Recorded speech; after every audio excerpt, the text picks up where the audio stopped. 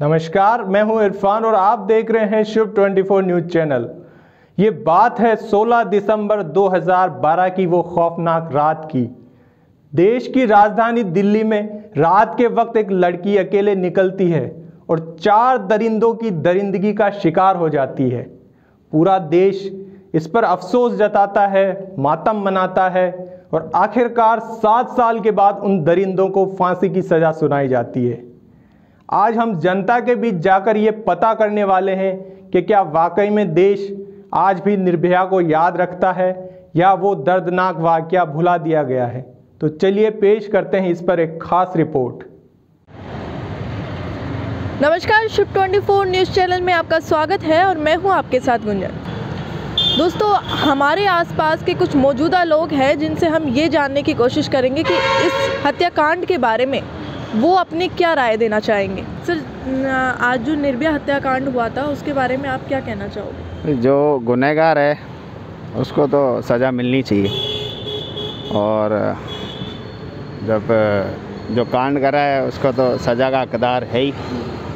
इससे आगे क्या आगे जैसे कि वो निर्भया हत्याकांड हुआ था उसके जो गुनहगारों को सज़ा मिली तो आपके हिसाब से क्या वो सज़ा सही थी? या उनको क्या अब बेटा देख जो सही हो वो ही होना चाहिए। लेकिन जिसके साथ गलत हुआ तो वो तो सही होना चाहिए कुछ ना कुछ तो होना चाहिए।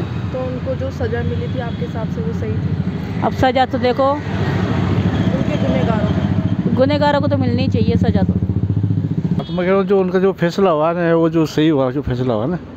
फैसला हुआ जो उनको जो जो सबको जो फांसी दिया था। गुनहगारों को जो हाँ गुनहगारों को जो फांसी दिया था ना वो सही है वो फैसला।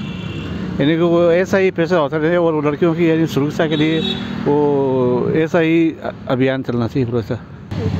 मतलब इस केस को तो बहुत ज़्यादा वो मिला था कि लोगों को हर किसी को पता है इस केस के बारे में। ऐसा नहीं है।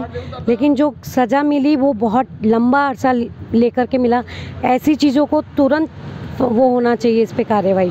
अगर सच्चा केस है तो इस पर तुरंत कार्रवाई होनी चाहिए। और गुनहगारों को हंड्रेड एंड वन परसेंट इसके लिए सज़ा मिलनी ही चाहिए। मैम जो निर्भया केस हुआ था उसके बारे में आप क्या जानते हैं? यही कि लड़की रात को बाहर निकली और उसका रेप वगैरह कर दिया। तो इसमें जो गुनहगारों को सज़ा मिली थी तो क्या वो सही थी? तो इसमें आपकी क्या राय है? हाँ सही थी। जो गलत काम किया उससे लोगों को पता तो चलेगा कि गलत करने पे हमको कुछ सज़ा मिल सकती है। तो आप इसके लिए जिम्मेदार किसको ठहराएँगे? इस ऐसे जो मामले होते हैं उनके लिए आप किसको जिम्मेदार ठहराओगे? ऑब्वियसली परवरिश भी होती है और हमारा समाज भी है कि उस लड़की को कोई बचा नहीं पाया। निर्भया हत्याकांड हुआ था तो उसके बारे में आप कितना जानते हो और आप क्या कहना चाहोगे? हम बस यही कहना चाहेंगे कि ये आ, इतना टाइम नहीं लगाना चाहिए और पहली बात तो ये होना ही नहीं चाहिए किसी के साथ भी। पर अगर हो रहा है तो उसको जल्दी से जल्दी इंसाफ मिलना चाहिए। और जो इनकी गुनहगारों को सज़ा मिली थी क्या वो सही थी? सज़ा तो सही थी पर टाइम बहुत लगा दिया। अगर ये पहले हो जाता तो आ, ये जो आठ सात आठ साल का टाइम था वो आ, कुछ लड़कियों के लिए जो मुश्किल रहा है वो आसान हो जाता। निर्भया हत्याकांड के बारे में आपका क्या कहना है? मैम देखो, निर्भया हत्याकांड को आज इतने साल हो गए हैं। आज 16 दिसंबर है, हमें पता है वो इतना ड्रास्टिक हमारे लिए बहुत, एक बहुत बड़ा कांड था। हमें उस चीज़ से कुछ सीखना चाहिए था, लेकिन मुझे मुझे नहीं लगता कि हमारी सोसाइटी में कुछ चेंज आया है उससे लेके। वो एक दिल्ली में इतना सब कुछ हुआ। आज उसको लेके कोई, वही सेम चीज़ अभी भी हो रही है। आज आठ आठ साल हो गए, उनको फांसी इतने टाइम बाद में मिली और अभी भी कोई चेंज नहीं है सोसाइटी में। अभी भी लड़कियाँ सेफ़ नहीं हैं। अभी भी छोटी छोटी बच्चों के साथ वही सब कांड हो रहे हैं।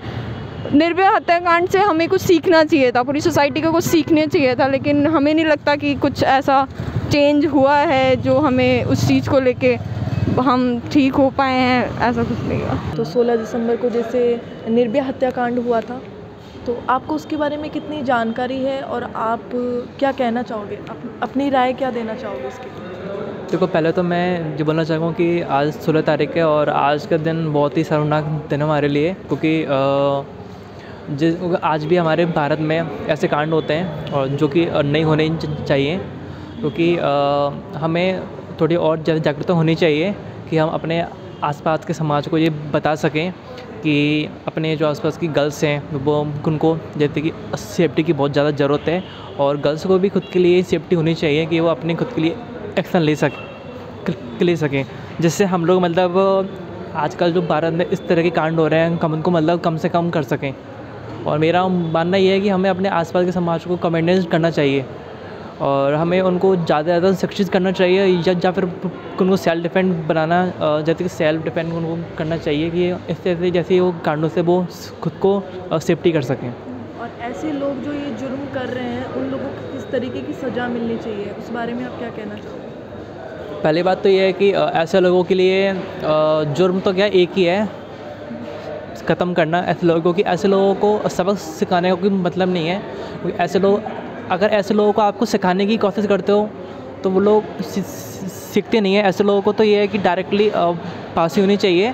जिससे कि अगर आगे दोबारा भी कोई इस तरह का करने का सोचे ना तो उनको ये चीज़ सामने रहेगी, इसकी सज़ा से ओनली मौत ही है। हेलो दोस्तों, मेरा नाम दिव्यांग लवली नोलखा है। सोलह दिसंबर वो तारीख है, जो कि हम में से कोई भी महिला या कोई भी लड़की शायद ना भूल पाए। दोस्तों, मैं 16 दिसंबर 2012 की बात कर रही हूँ, जिस दिन निर्भया केस कांड हुआ था। एक ऐसा केस जो कोई भी महिला कभी नहीं भूल सकती, और इसी वजह से आज के दिन मेरा मन किया कि मैं उस दुखद घटना को आप लोगों के साथ शेयर करूँ। दोस्तों,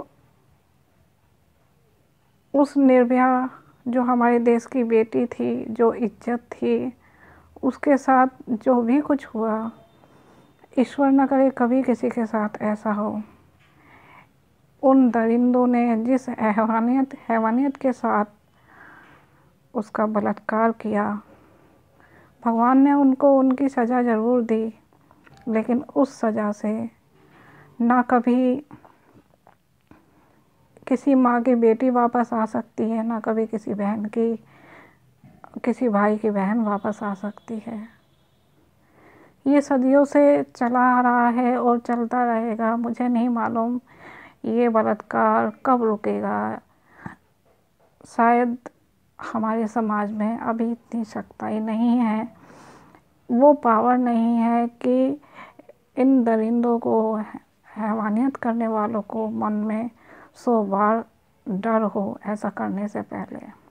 तो देखा आपने, पूरे नौ साल बीत गए हैं, लेकिन इस हादसे पर हमारी सोच में अब भी उतना परिवर्तन नहीं हुआ है जितना होना चाहिए था। तो आखिर कब होगा ये परिवर्तन? कब थमेगा ये जुल्म? कब महिलाओं के खिलाफ अत्याचारों में कमी आएगी? ऐसी तमाम बड़ी खबरों से जुड़े रहने के लिए देखते रहिए शुभ 24 न्यूज़ चैनल। नमस्कार।